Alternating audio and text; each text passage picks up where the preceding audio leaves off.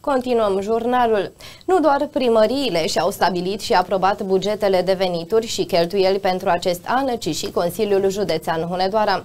Bugetul propriu al județului Hunedoara pe anul 2023 este de 558 de milioane de lei, iar conducerea județului a reușit să aloce în premier aproape 60% pentru investiții, dar și peste 30 de milioane de lei pentru susținerea activităților culturale. Despre buget este poate pentru prima dată, după 32 de ani de zile, când 58% din bugetul Consiliului Județean l-am băgat pe investiții. Sunt omul care consideră că dacă nu facem investiții, nu putem să dezvoltăm județul Nedoara.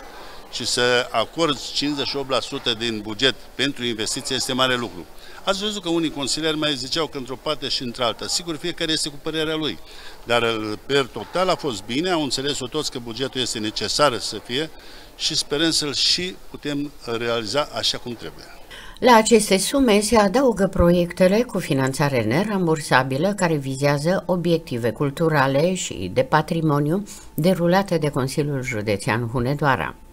Orice instituție din județul Hunedoara care nu încearcă să atragă fonduri europene și se bazează doar pe bugetul propriu sau mila de la guvern, nu poate să se dezvolte.